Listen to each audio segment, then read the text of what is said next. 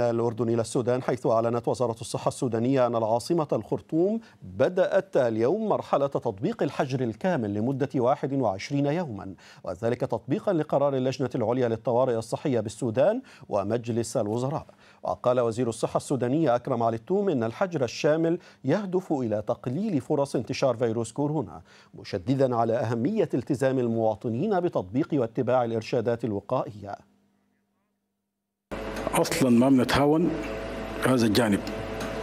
ولذلك أنا أفتكر إنه الآن يعني الجانب الاعلامي غطى كل هذه الجوانب والالتزامات. بقى الناس هتكون موجودة في في الإحياء في أزمنة محددة. وطبعا معاش الناس الساعات دي كافية جدا إنه فعلا إنه الناس تقدر تعالج خاصة إن إحنا زي ما أكد الأخ وزير الإعلام إنه حتكون في مراجعات. لهذا الجانب.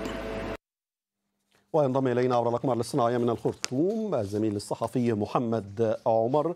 أحييك محمد وكيف كان اليوم الأول لديكم في الخرطوم؟ اليوم الأول من الإغلاق الكامل لمدة ثلاثة أسابيع.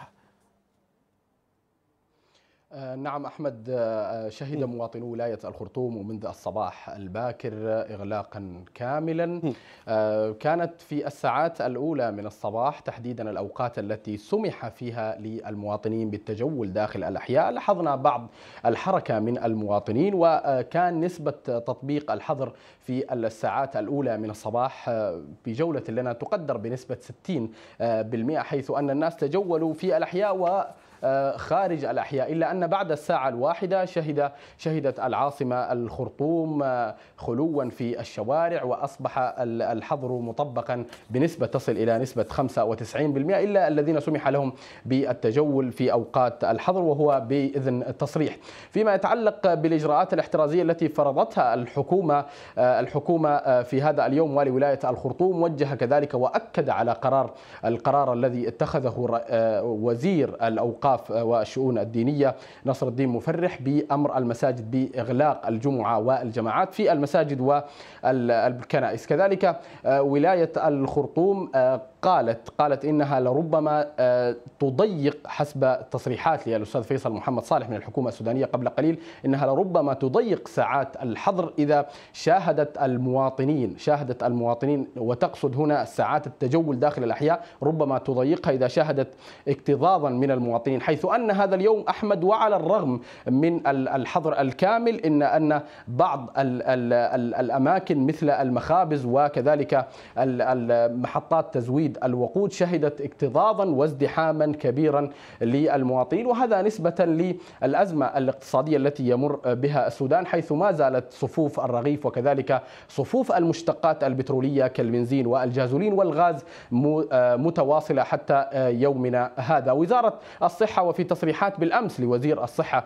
السوداني دكتور أكرم علي التوم وعد باتخاذ إجراءات قوية جدا ورادعة ضد ضد من يروجون للشائعات. وكذلك وعد باتخاذ إجراءات رادعة وقوانين رادعة ضد من ضد من يدعون للتظاهرات. الجدير بالذكر أحمد أن العاصمة في اليومين الماضيين شهدت عدد من التظاهرات من معارضين للحكومة. وهم يقولون بأن الحكومة تحاول استخدام كورونا في لتمرير أجندتها الداخلية. الداخلية وغيرها للتغطية على ألأزمات في البلاد لكن عدد من الأطباء استغربوا من حديث بعض المعارضين بهذا الشكل وقالوا إن هذه جائحة وأن العالم برمته يشتكي من هذه الجائحة فهذا حديث ليس له منطق. فيما يتعلق أحمد بعدد الحالات وزارة الصحة في الساعات الأولى من الصباح وتحديدا وتحديدا عند الثالثة والنصف صباحا بالتوقيت المحلي لولاية الخرطوم أعلنت عن